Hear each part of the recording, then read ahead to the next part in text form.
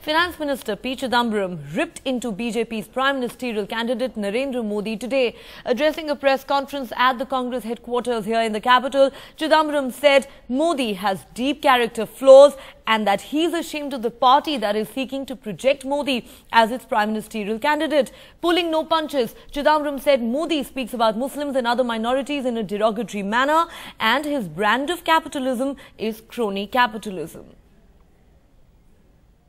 When he referred to people practicing the Islamic faith, he said, Hum panch, hamara pachas. Pachis. Sorry. Then, when he referred to the address of the Congress president, he said something like, Das numberi or something. These are deep flaws in the character of a person.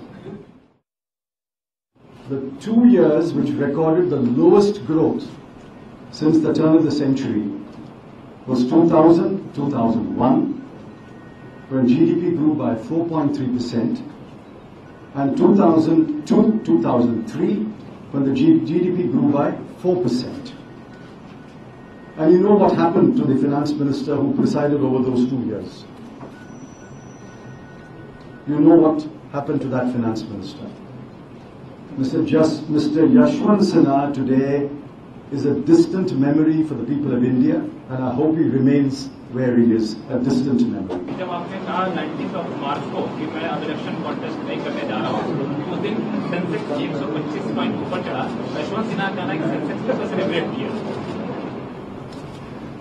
I think the celebration began when Mr. Yashwant Sinha declined to contest elections. and the celebrations are continuing.